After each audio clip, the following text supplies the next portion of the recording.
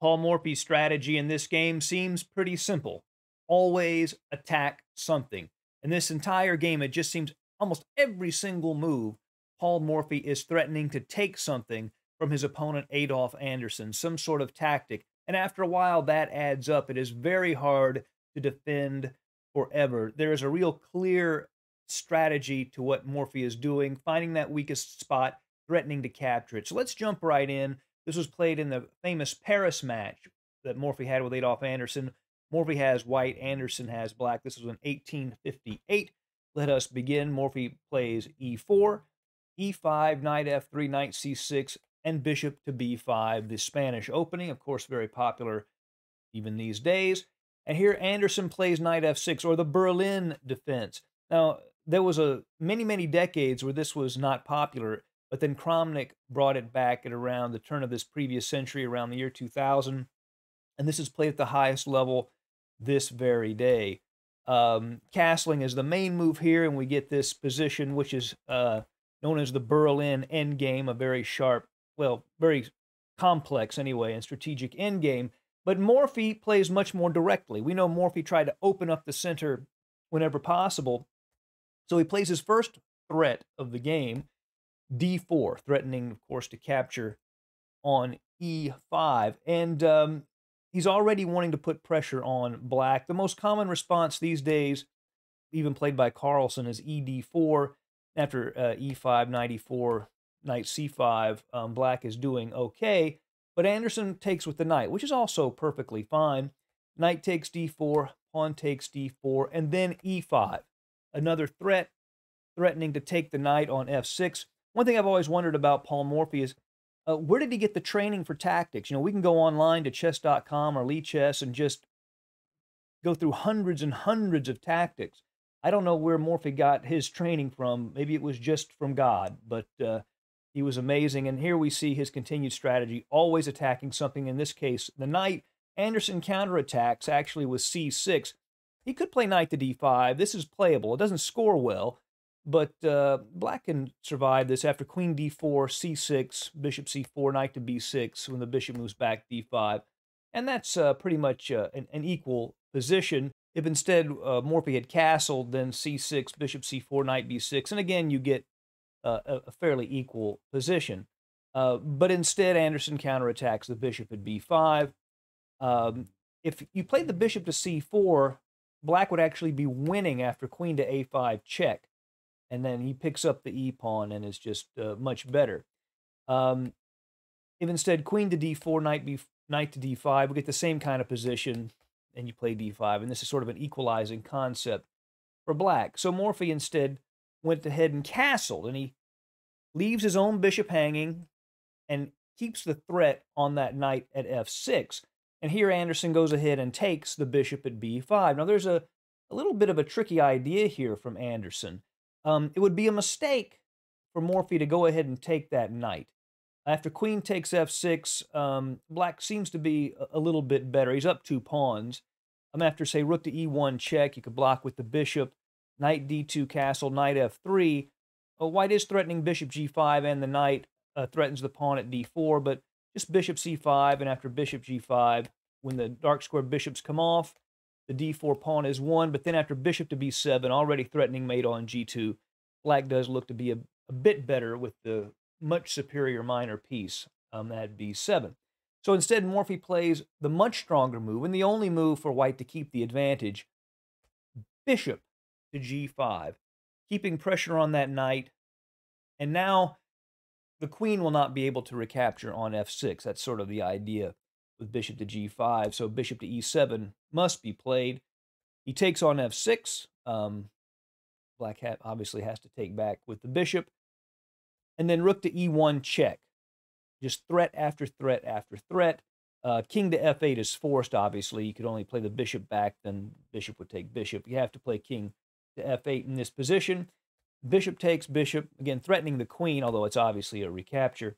Uh, and here, Morphy could have played rook to e4 piling up on uh, the d pawn, but instead he plays c3, another threat, threatening to just take on d4 with the pawn. And in this case, black needs to allow that because if he takes on c3, after knight takes c3, Morphy would be crushing black. I mean, that knight's coming into d5 where it hits the queen. This rook is all of these back rank pieces for black are completely undeveloped.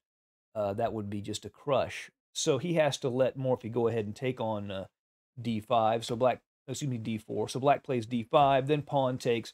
And now black is up a pawn. Um, but Morphy has the better knight or the knight is better, I should say, than, than black's bishop because this pawn at d5 severely limits that bishop. But more importantly is black's king. Anderssen's king blocks in this rook on h8, and Morphy has what he loves the most, which is a big lead in development. Uh, so Anderssen begins with bishop to e6 to defend the pawn at d5, but now knight to c3, directly attacking another direct threat against uh, the pawn at b5 uh, a6 to defend that pawn. And now, again, the threats just keep coming. Rook to e5. He sees that the d5 pawn is the weakest point in black's position, so he aims all of his forces at it. Every single piece attacking that weak spot. Uh, rook to d8 defends. Now, how do we attack the d5 pawn again? That's right, queen to b3. So now there are three attackers on that pawn. Queen to e7 is played by Anderssen. And it may look like that Morphy could take on d5 here. The problem is that that actually would be a blunder because of queen to d6, taking advantage of the, the pin of the knight. Uh, Morphy could save the piece with queen to b4, but after queen takes, knight takes, rook takes, hitting the knight, knight goes to c2, rook to d2. Um, black is much better here. He has a better minor piece. Um, he's got pressure on the knight. He's got an extra pawn, and his king being at f8 becomes an advantage because it's closer to the center in an endgame. So uh, Morphy's not going to allow that. So the pawn cannot yet be captured. Uh, but instead he plays rook a to e1. Now the, there's threats uh, to capture. And um, Anderssen plays really a, a, a, shocking move when you first see it, g5. That's sort of a modern, you wouldn't be surprised to see Stockfish or a, a neural network computer from the modern era play a move like that.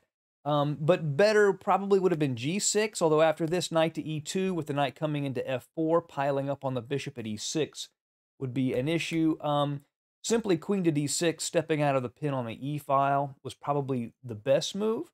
Um, but after g5, Morphy could have played knight to e2. That may have been the strongest. The idea is the knight could come to g3 and either go maybe to f5, but also to h5. A knight on h5 would control g7 and basically ruin the whole point of g5 and keep that king hemmed in on the back rank. Uh, but instead, Morphy plays the move queen to d1, also a good move. Uh, moves like queen to c1 piling up on g5 are possible.